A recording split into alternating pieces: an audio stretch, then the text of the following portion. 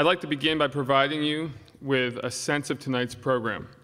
After President Brodhead's introduction, we will allow Chairman Reilly to provide his thoughts on the Oil Spill Commission's report and its impact.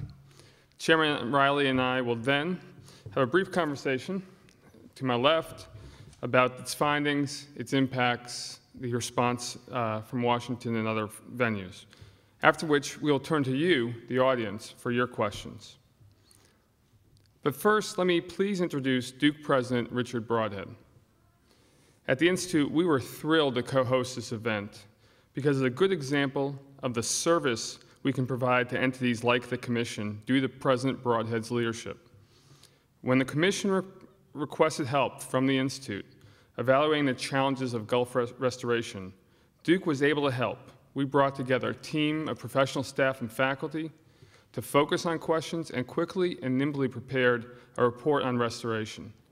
Much of the inertia and delay found in universities was avoided due to the institutional designs put in place by President Brodhead, Provost Lange, and their colleagues. This is the sort of service to society that the university, by the university that is the vision of President Brodhead. It is his leadership and initiative that has created structures at Duke that allow us to put it, it at the service of society.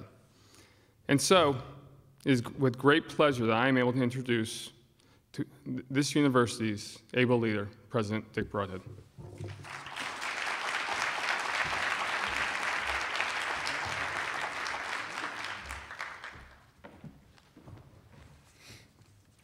Why, thank you, Tim. I would encourage all employees to talk with such respect on all occasions. I suppose everyone in this room can remember a day in April, I think it was the 20th of April in the springtime of last year, when we got news uh, that oil had begun to gush out of the BP Deepwater Horizon uh, oil rig in the Gulf.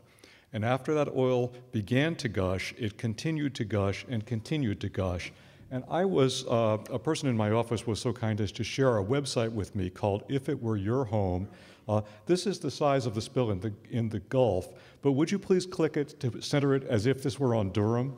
Okay, now, now look, at, look at this. You see it goes way past uh, Goldsboro and Kinston, and then way past Winston, and in fact extending all the way into Tennessee here. Uh, so we're talking about a mammoth spill. My information is uh, that the Exxon Valdez spill covered something like 3,000 square miles, and this about 70,000 square miles. So we're talking about something, I think that this can now go away. Uh, uh, we're talking about something about 20 degrees. I mean, you know, I got centered on your house if you want me to make it really scary.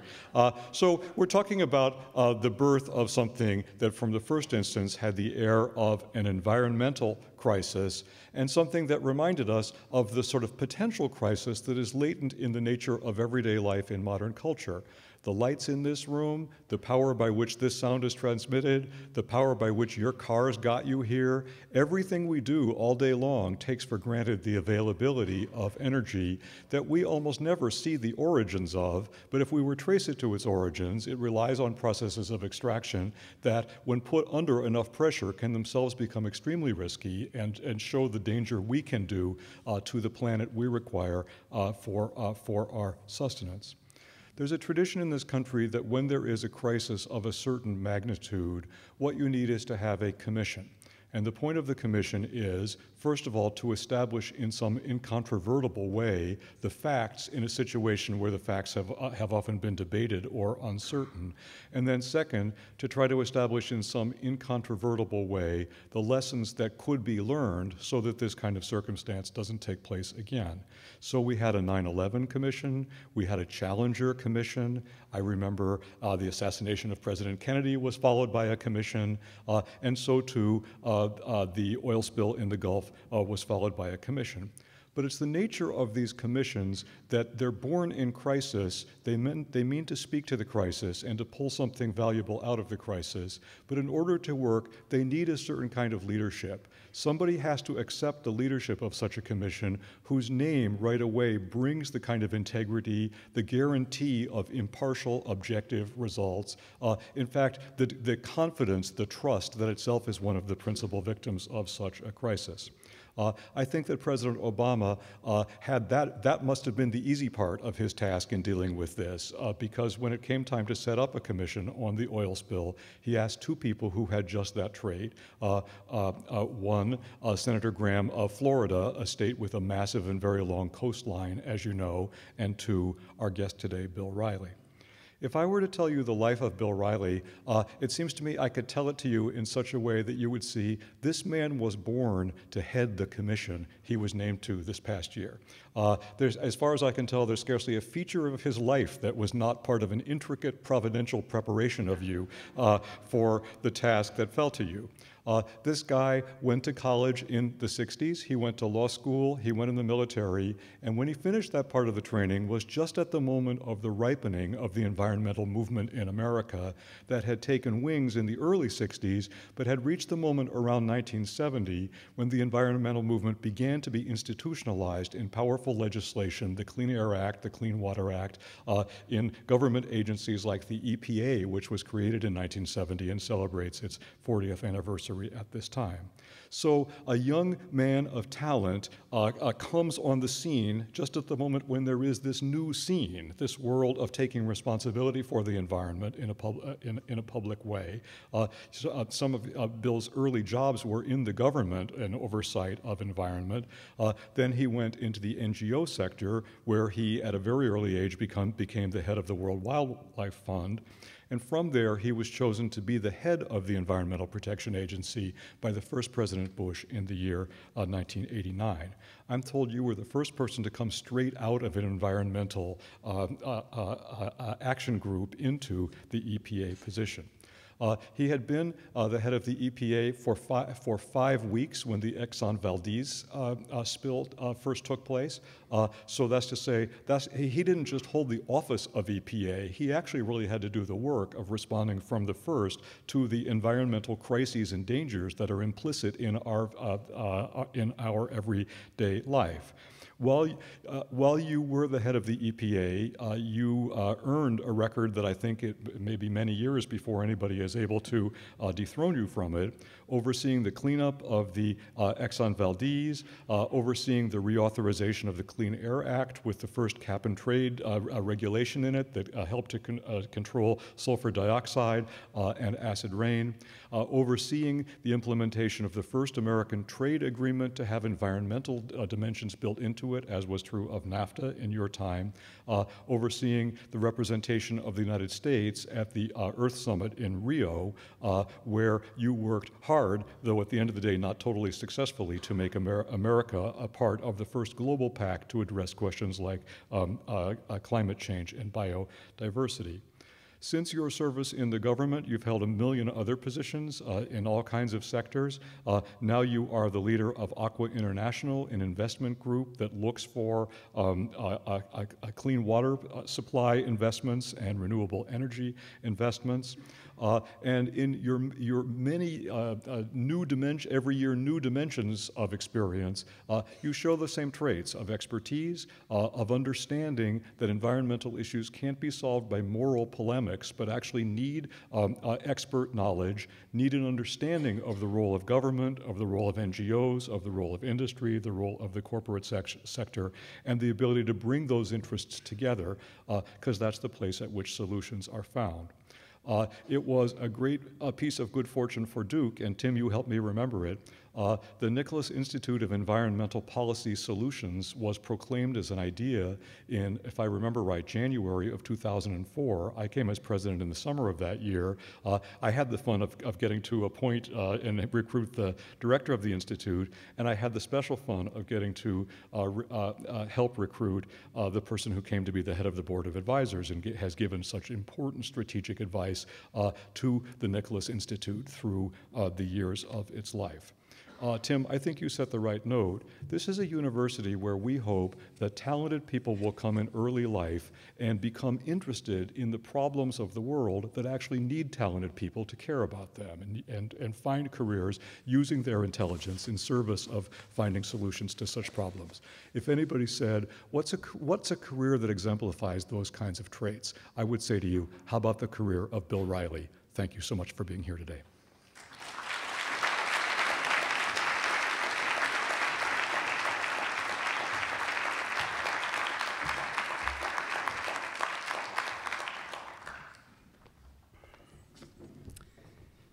Well, I recall once being present when Henry Kissinger got an introduction that he was not entirely satisfied with, and he said, Of all of the introductions I have ever received, that was the most recent. I, I think of all introductions that I have ever received, that was the most satisfying.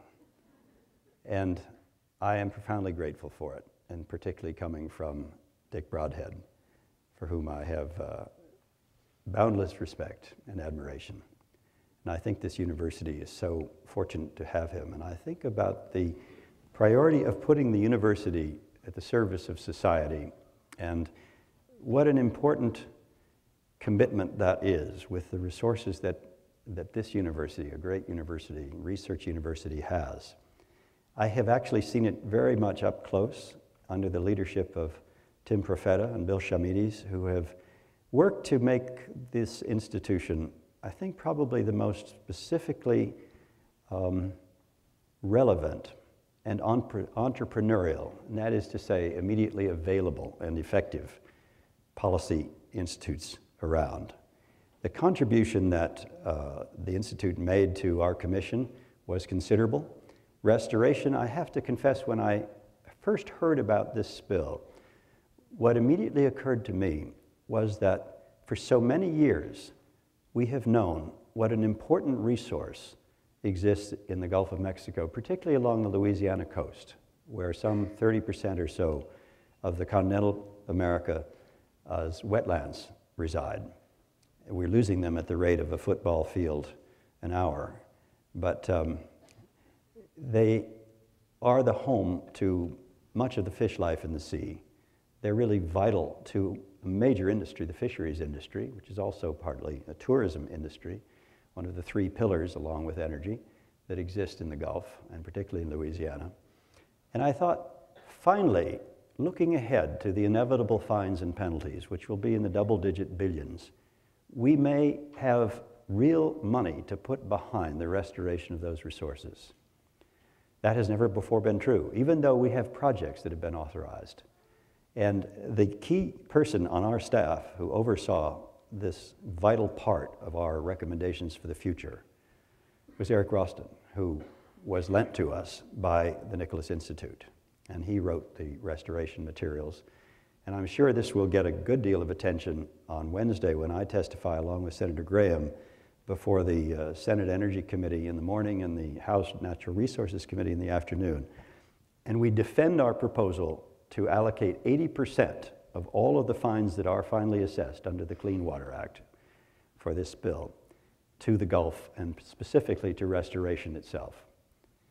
We have, uh, I have already uh, briefed a number of people about the restoration proposal, and, and I think the most memorable one was with Governor Riley of Alabama, who uh, was very upset about these decisions because um, he likes the idea that all the money should go to restoration, but his idea of restoration is um, uh, to re reinforce the tourism industry, which has been badly hit in Alabama, by um, building a new casino.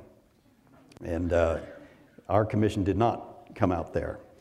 Uh, well, to go back to, to first causes, I was invited to take the position by uh, the President's Energy and Environment Advisor, Carol Browner, who called to uh, ask me to do this. I was in San Francisco at the time, and I began to demur by saying I have business relationships. Specifically, I'm on the board of an oil company that would probably make this inappropriate, ConocoPhillips, from which I took leave finally to do this. And she said, um, We know more after a week of vetting you than your family about you. Uh, and the president considers it an advantage that you know the industry and have those relationships. And so I did, in fact, um, take the position and move to Washington to do it. Our first meeting with the president was, um, Senator Graham and I, was, um, was very interesting for his perspective on the issues. I remember he said um, a couple of things that uh, I thought were highly presidential. He said the Three Mile Island Commission set back nuclear energy in this country for the rest of the century. I don't want that to happen here. He uh, also said, uh, I don't want you to write me a new energy policy. I think he could see stars in our eyes. For we, we have some ideas along those lines. And um, finally, he said, and please do not interfere with the ongoing civil and criminal investigations conducted by the Justice Department. And that has probably caused some confusion when our first report came out uh, a week or so before January 11th, when the full report came out. The stock price of BP jumped up two percentage points. And one explanation for that is we did not uh, use the word negligence or gross negligence, which are terms that are specific to a certain level of fines uh, 1,100 and $4,100 per barrel. Um, but that was very deliberate. We avoided in any way uh, assessing guilt and simply went to causes. And the executive order that established us asked us to determine the cause, the specific proximate cause of the spill, determine the root cause, and then recommend the future of offshore oil and gas development. Well, we took testimony for the first time in the Gulf itself, and we heard from the people most impacted by this disaster. I had considerable experience with the Exxon Valdez oversight and um, saw nothing there to compare with the distress and the extensive impact over five states that uh, was evident with respect to the Macondo spill, the April 20 spill. And uh, most poignant of all, I think, was Vietnamese fishermen who uh, had nothing that they could do with, in the way of fishing. Fishing beds were closed, particularly the close-in oyster and crabbing beds where they were, what they fished for could not escape the way uh, the larger finfish could, the spill. And um, they were uh, reduced to uh, standing in line in the morning for a $100 food coupons from Catholic Charities. And uh, they don't speak English. And they, um, there are some 40,000 of them. This is quite a substantial population. The tourist industry, as Governor Barbour of uh, Mississippi told me, he said, there isn't any oil within 60 miles of us. This was on, uh, Labor, on uh, Memorial Day weekend. But we have 30% uh, occupancy on what is ordinarily the most important tourism weekend of the year here. Uh, the reputation that uh, fisheries developed, I confirmed myself when I ordered in, in New York at the oyster bar some oysters and asked whether they were possibly from the Gulf and was told no, we would not serve seafood from the Gulf. So seafood processing came to a halt. And the number of lives in these industries that were affected were very considerable and uh, will take a long time, particularly the brand destruction, the reputation problem, which caused tourists not even to go to Key West, we learned. Europeans began to cancel it, and of course the, the, the oil never got close to it. So this, this put us in, in a frame of mind to be deeply sympathetic to the people most heavily impacted, and also to look very closely at the degree to which that coast had been affected, channeled, dredged, and degraded over many, many years for many reasons flood control, but also for canalization for oil and gas pipelines.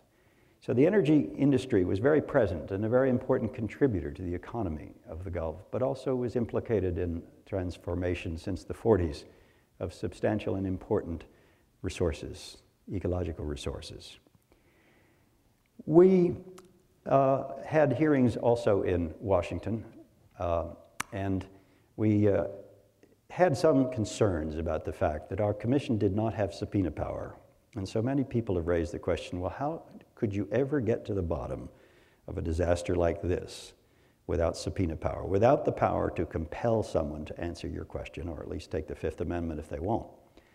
And uh, to, to, deal with this, and I, I, look back on how well we did without subpoena power, we, um, we hired a lawyer, and I was told one day, and I was back in California for that moment, that uh, Fred Bartlit, a very famous trial lawyer, an expert at presenting complex technologies to juries, wanted to go to work for us. Now, he had been the uh, investigator for the Piper Alpha, a bigger blowout in the North Sea in 1989. And he wrote essentially the Cullen Report, which is considered the Bible among such reports. And when I heard that, I said, Well, I, he, sounds, he sounds very impressive. I'd like to interview him. And then uh, Richard Lazarus, the executive director of our, of our commission, said uh, he also was the lawyer for Bush in Bush v. Gore and twice uh, defeated David Boies in jury trials in Florida. And I thought to myself, that means that Jim Baker, uh, former Secretary of State Baker, would have selected him for, in his case, the trial of the century. Um, I don't think I need to interview him. Sign him up. so when I met with him, I said, uh, what are we going to do without subpoena power? And this is a man, he's about 6'2", 6'3", uh, an ex-Army Ranger, called John Wayne in Pinstripes um, by, the, by the trade, has a reputation for intimidating other lawyers and charming juries. And he said, I don't need subpoena power. He said, I just go down to Houston, I'll bring one lawyer with me, I'll call up one of the companies, and I'll tell them, tomorrow, 2 o'clock, my hotel room, bring your witness, be there. They'll say, oh, we couldn't possibly be there tomorrow, that's just uh, too short notice. And I say, look, you got 500 to 1,000 lawyers getting, I don't know, $500,000 an hour be there. he said, They're always there. They know if I'm not. If they're not, I'll kill them. So that was my. Uh, he, he also said uh, something I thought I saw a little bit of the skill with the jury. He said, You're from Decatur, Illinois. I'm from Harvey, Illinois. Ain't nobody important ever came from Decatur or Harvey. You and I have something in common. We got here on our own. Okay, so he went to work. He had an enormous uh, respect from the industry itself because he had represented many of the same companies. And uh, though we thought that might be a vulnerability, and he thought, no one ever really raised it because they watched him conduct himself in a way that was not adversary. And I must say, an important way in which we proceeded was to show respect for those who spoke before us and for the companies themselves. And I reminded myself more than once um, this was not 9 11, though our commission was often compared to it in some ways. Nobody intentionally killed anyone. This was not evil rampant. These were the blunders of well meaning men and women that had fatal consequences. And there's a big difference. So he didn't set out to convict or to indict, he set out to truth tell. And not that that was easy or done without a lot of conflict and even shouting in our conference room, as Halliburton accused us of being too friendly to Transocean, who thought we were really letting BP off and, and so forth. But we, we did get to the bottom of it. And uh, we know, with respect to everything but one important question, and that is the blowout preventer and why it didn't work. The blowout preventer wasn't even pulled up out of the sea until late August, and it's still in a warehouse uh, being forensically examined in Louisiana, or Houston, I guess. Um, with respect to every other part of this decision, we are confident that we did, in fact, get to the bottom of it. We um, had a critical question as we began the inquiry, and the question was Is this the misbehavior of one company which historically has had serious problems managing process safety, BP?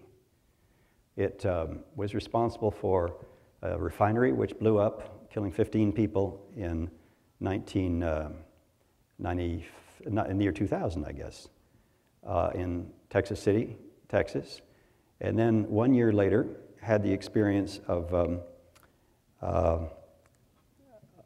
spilling 5,000 barrels of oil over three days, which it took to find out that this was even happening for BP on the snows of Alaska.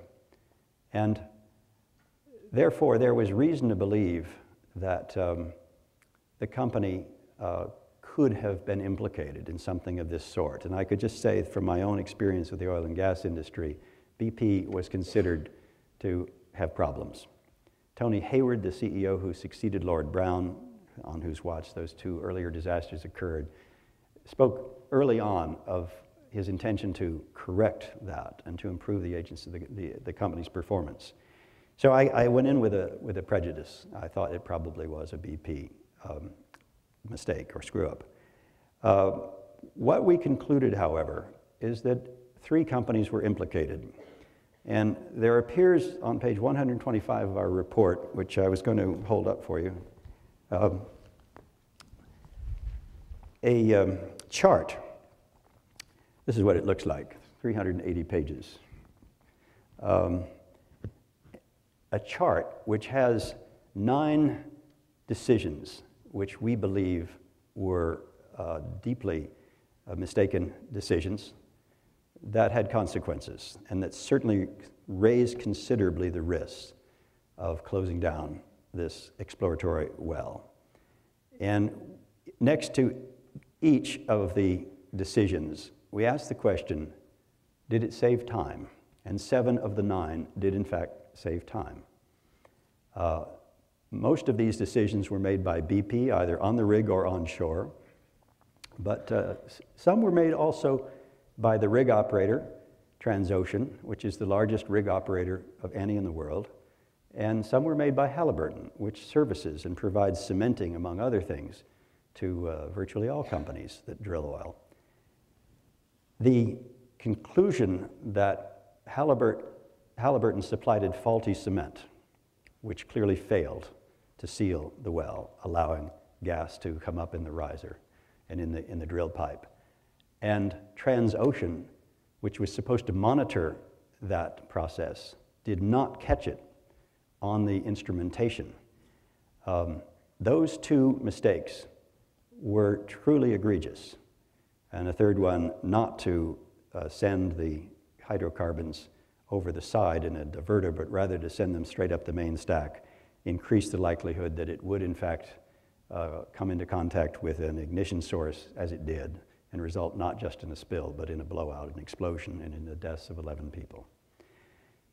Concluding that three companies were involved uh, made a big difference to our judgment. And we said something that is probably one of the most controversial parts of the report. We said that we have here not the blunder of a rogue company, but the serious faulty decisions of three. One happens to be the largest exploratory drilling in the world, BP, and the largest in terms of representation in the Gulf of Mexico. One happens to be the largest owner of rigs in the world, and one happens to be the largest supplier of uh, services. And in order to believe, as many industry leaders have made clear to me they do, that it is not a systemic problem in the industry, one has to believe also that Halliburton would never have supplied faulty cement to any but BP. That Transocean would have caught the gas rising from uh, 18,000 feet down on any other rig but a BP rig.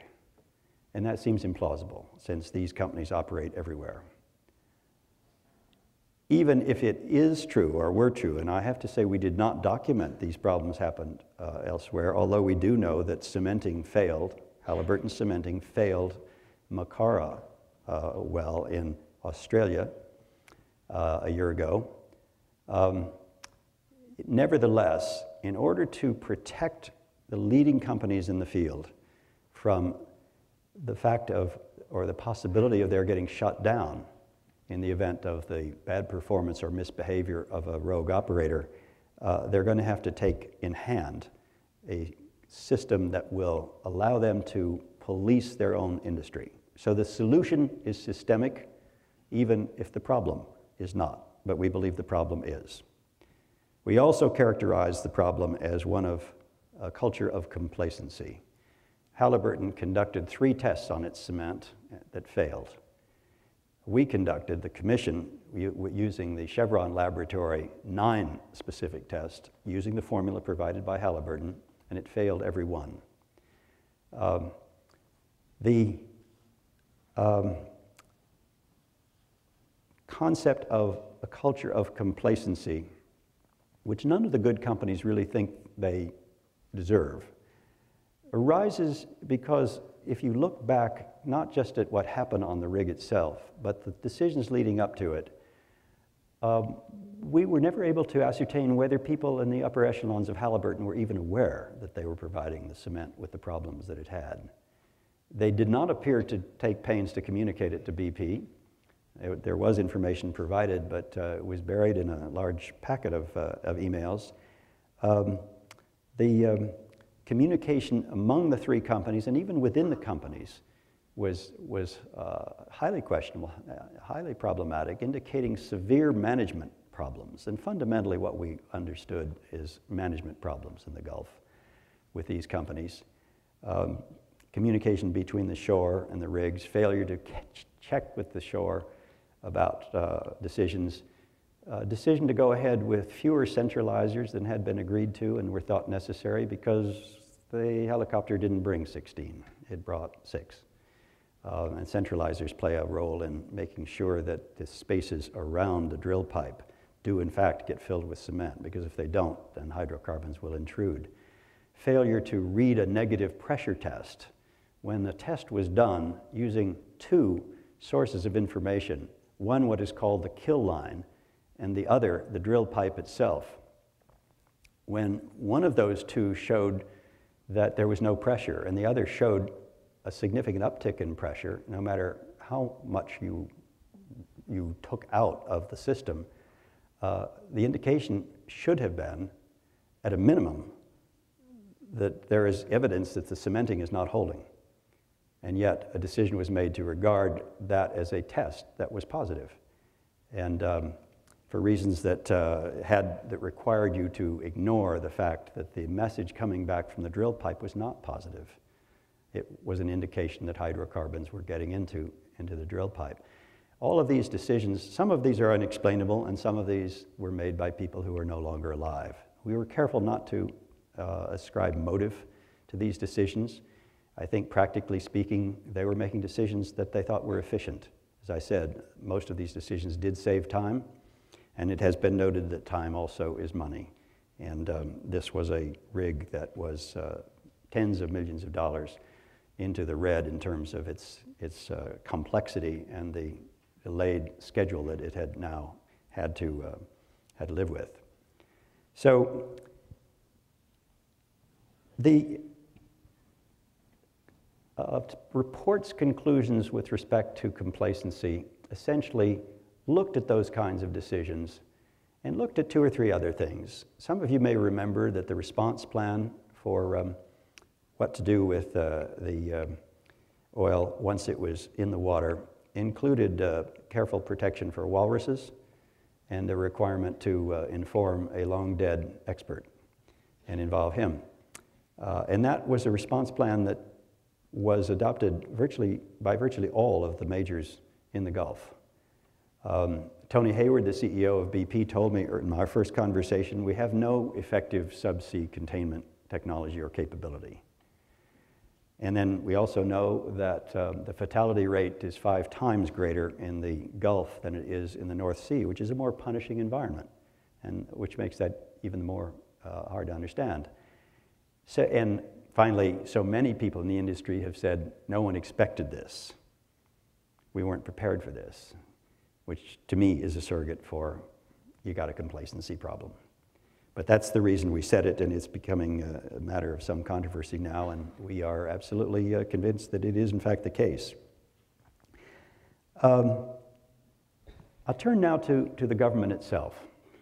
Over many years and many, several administrations, MMS, which was founded by Secretary James Watt in the Reagan administration, has uh, received the revenues from gas development, oil development, uh, on the part of the government. And those revenues are very considerable. They were $18 billion just a couple of years ago, I think 2008. There'll be six or eight billion dollars, I understand, uh, this year. They um, typically are in the 10 to 12 billion dollar range. These monies are the second largest in revenues after the Internal Revenue Service that the federal government receives. And they go into an agency which has responsibility for leasing oil and gas areas, vast areas of the ocean, which area-wide leasing can be, can be uh, hundreds of thousands, millions even, of acres, and um, determining what the environmental requirements should be, doing environmental impact assessment for plans, and um, doing inspection, auditing, and oversight for environment and safety. All of those functions combined. And at least three of the MMS directors who testified before our commission were frank to say revenues drove this program. And a program that large, why wouldn't it over time? So we made a recommendation that the Interior Department be reorganized and that the regulatory functions, environment and safety, be walled off politically from any interference, that a director be appointed for a term of years, much like the FBI director, who cannot be removed uh, except for cause, um, and that leasing and other aspects of uh, decision making affecting the revenues be separated entirely and remain with the Interior Department. We spent considerable time thinking about whether to keep, or in our recommendation at least, to maintain the Interior Department's role in this enterprise. And um, remember one conversation I had with Congressman Waxman, uh, who was then chairman of the Environment Committee, of, or chairman of the Energy and Commerce Committee. And, and I told him the people who know how to regulate, who really know how to regulate it, regulate, it's EPA.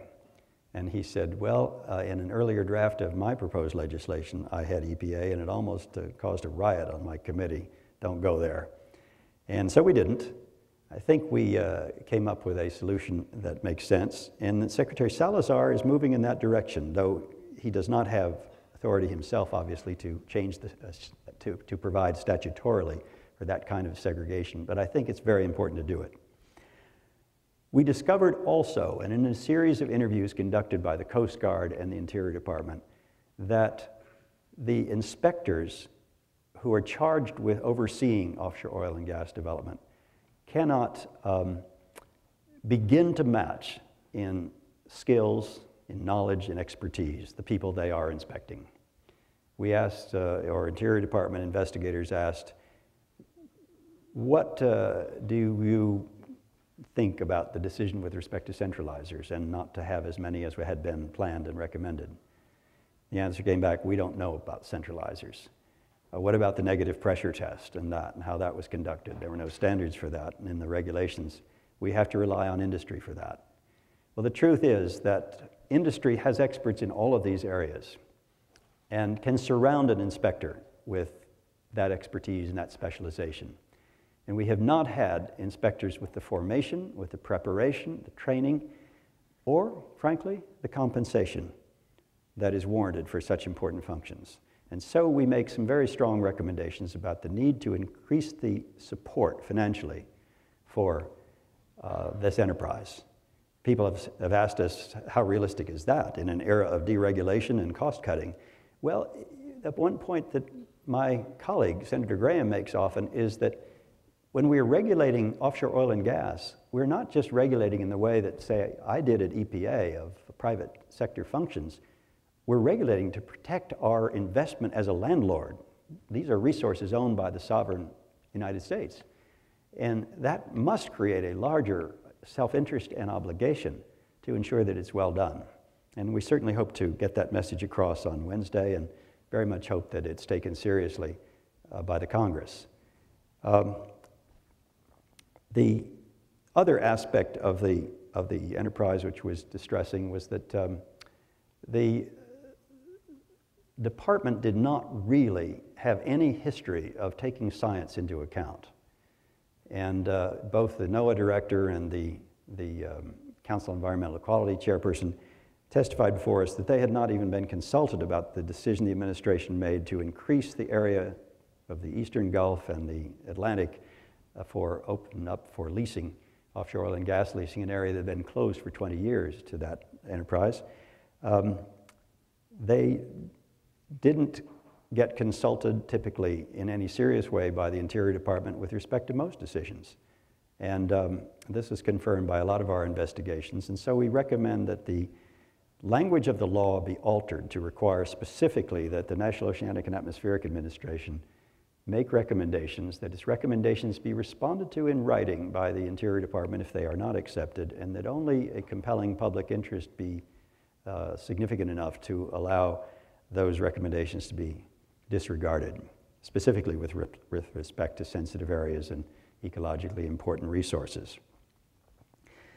Uh, finally, we recognize, I think, that no matter what the priority given to the reconstruction of MMS, to its um, invigoration again, which Secretary Salazar and President Obama, I think, very much want to see happen, whether the Congress appropriates those funds or not, it will take time for that enterprise, that agency to become effective at regulation.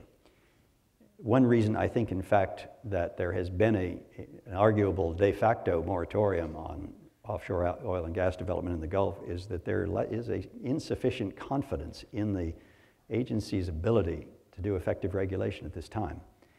Well, industry, in our view, has to do what other high risk industries have done after their disasters. If you look back in American history, in 1955, only 20% of Americans indicated they were willing to fly. 55% said they wouldn't fly under any circumstances. There were 12 to 15 serious fatal accidents a year in commercial aviation in the United States. Boeing got together with the FAA, they changed instrumentation, they improved pilot training, they uh, improved navigational techniques, made a number of changes in aircraft, and we now have something like two to three accidents a year. And the American public is confident enough to fly, and of course, there are many more flights than there ever were then.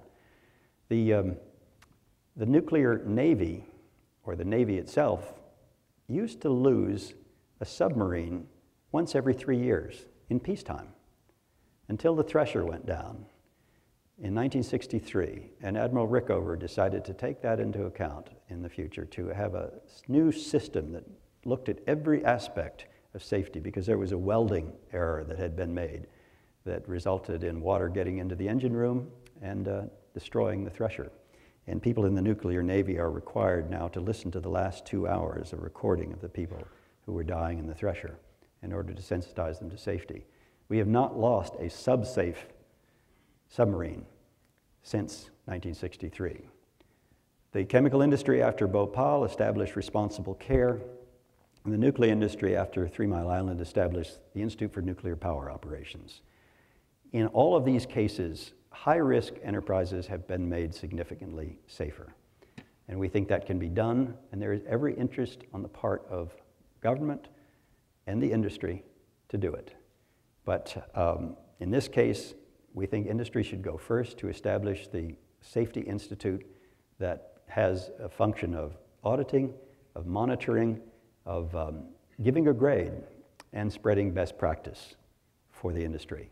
And I learned firsthand on the board of a company that has two nuclear reactors in Texas how much respect the people being evaluated have for the evaluators in INPO.